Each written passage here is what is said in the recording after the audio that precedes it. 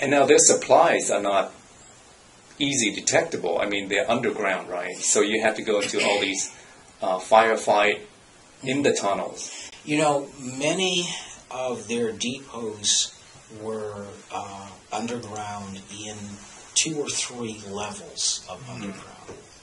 Um, from time to time while I was in Vietnam, because I wasn't a very big person, Right, right. um, I went into the tunnels.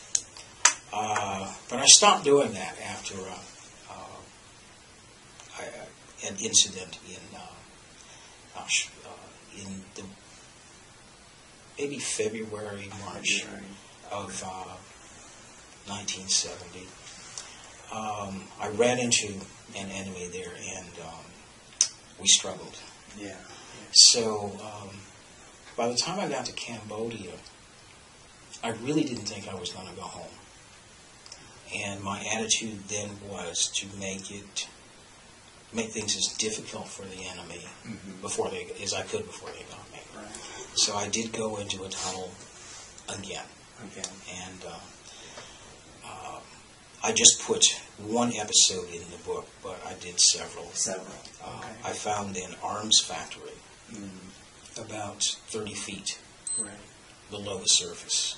Uh, they just made rifles right there on Wow. the spot. Okay. Uh, the part I put in the book was uh, when I found um, an underground hospital complete with uh, uh, operating room, surgical lights, uh, medicine, EKG machine, X-ray. The whole deal was there. Right, right. Uh, fortunately, no one was home. Yeah. yeah. Now, in your book, you talk about very close to death experience inside the tunnel when it was so dark that the only thing that you could feel was your enemy's breath. And then you got into a life or death struggle with this enemy that you don't even see. Can you can you tell us a little more about that life changing experience? when you go into a tunnel, there's some things you just have to uh, you have to keep in mind. First of all, it's best not to turn on a light. If you have a flashlight, you only use it rarely. I mean, if you're really, really sure you're uh, alone Right. and it's going to be dark, so you you live by your senses, what you can feel, what you can hear, what you can smell. So when you go into a tunnel, the best thing to do is to try to touch as much of the ceiling and the wall and the floor as you can.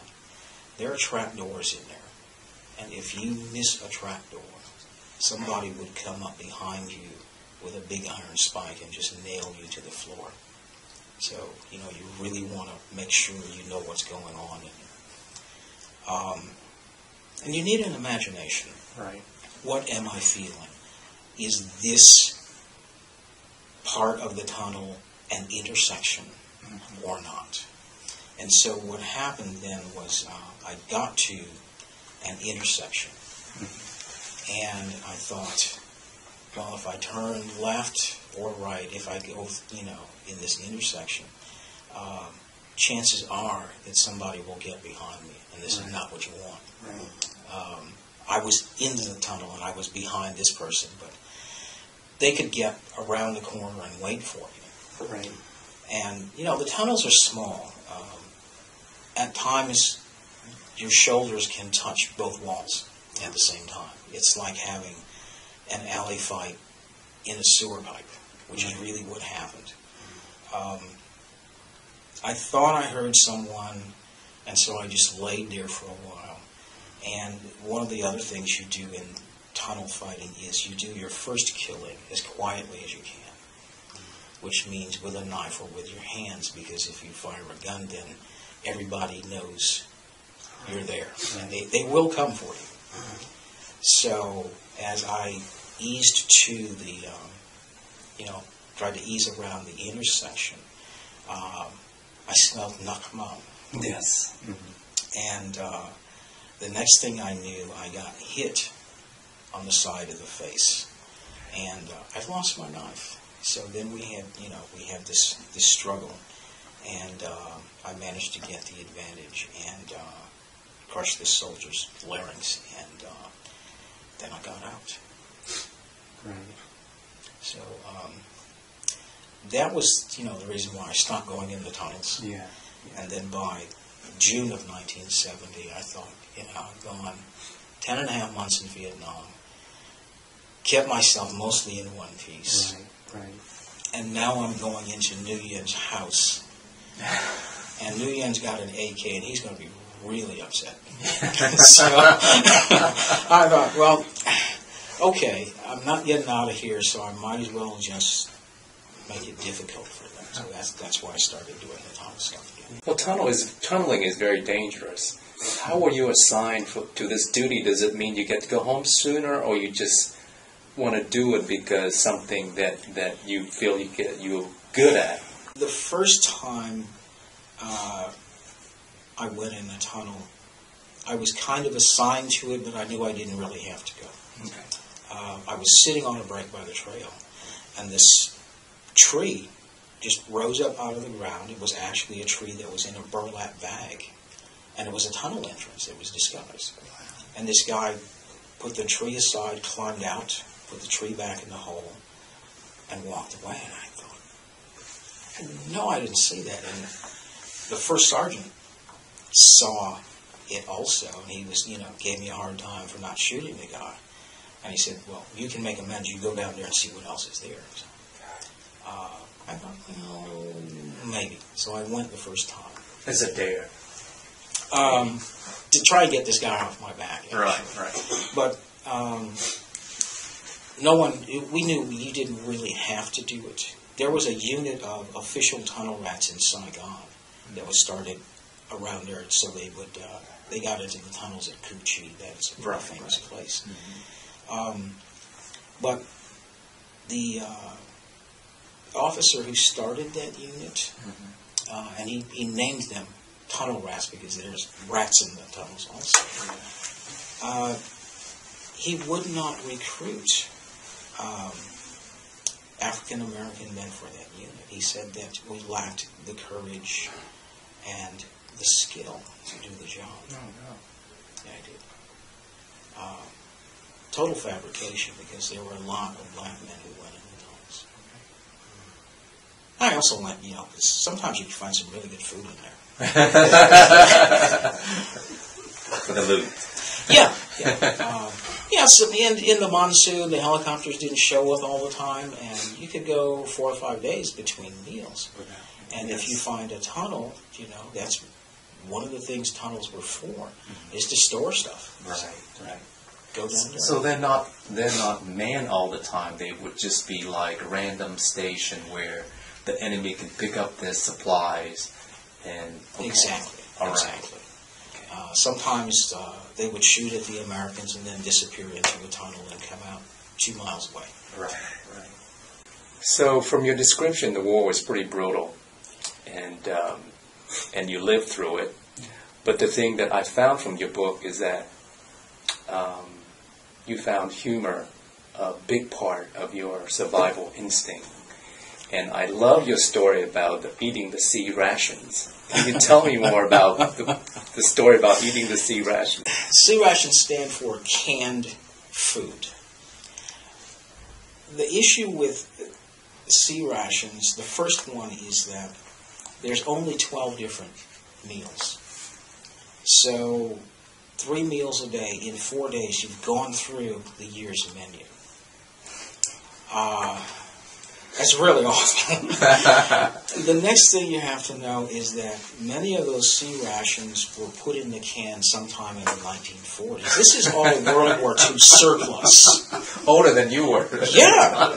So, you know, I mean, th- there are only a, a few things that were really, I consider, edible. Uh, canned ham and eggs was not on the list. It looked really looked like somebody had vomited in the can and sealed it. I just I could not hold that stuff down. Yeah. The best meal they called it re-up food. You know, like people would would uh, re-enlist in the army to get this was the beans and franks. Yes. Beans and weenies was really good stuff. uh, and you could get pound cake, and a little can of peaches. That was just that was heaven. Right. The rest of it was awful. Uh, we did start to get these dehydrated rations. They're the uh, forerunner of uh, the current Army's uh, MREs, meal ready to eat. Right. This stuff is just, it wasn't really good either. Um, the chili and uh, chili and beans, chili with beans.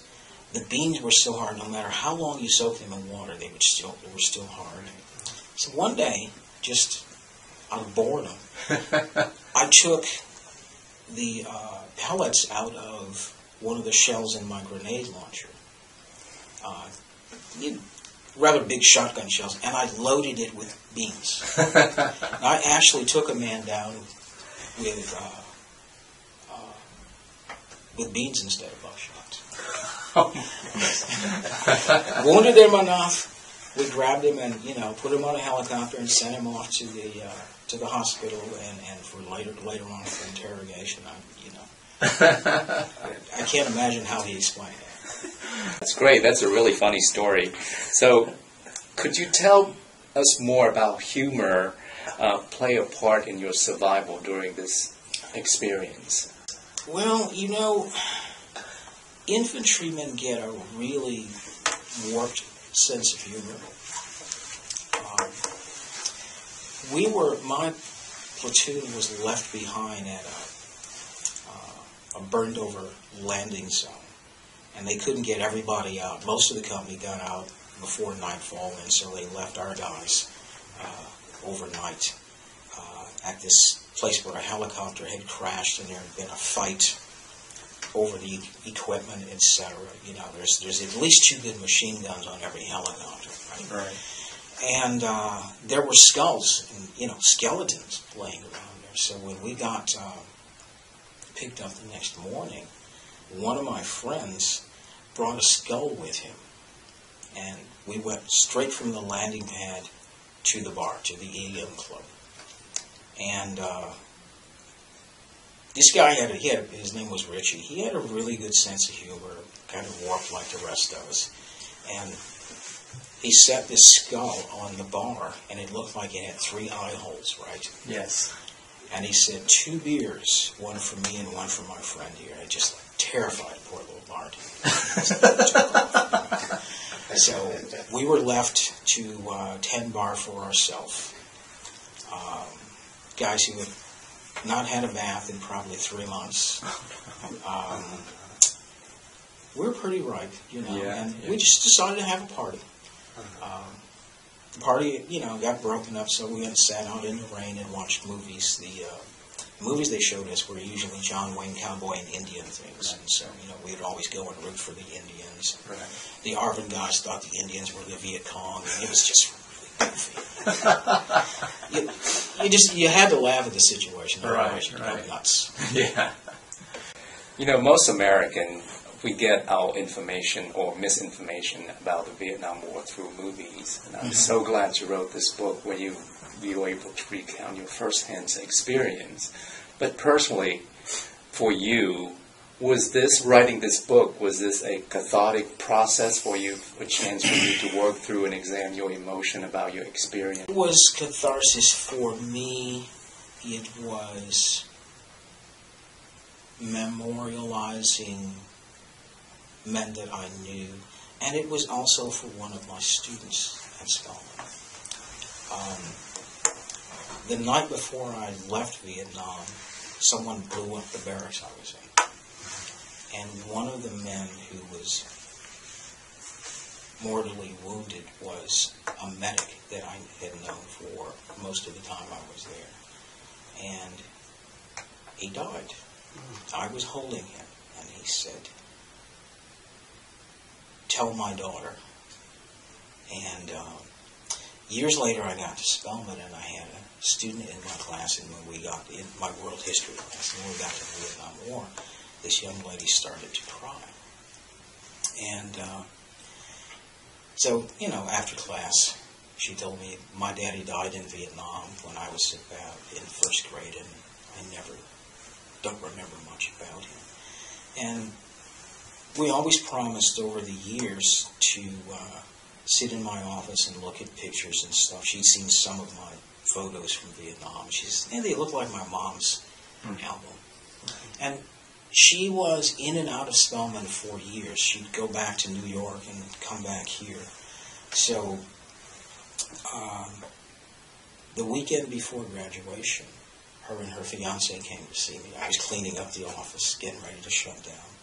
And she said, I brought my daddy's pictures. Uh-huh. And I opened the album, and I just started to cry because it was, you know. And she said, Whoa. She said, Can you tell me about my daddy? Right. So I told her about her daddy, and then I wrote about her daddy and men like him hmm. for the book.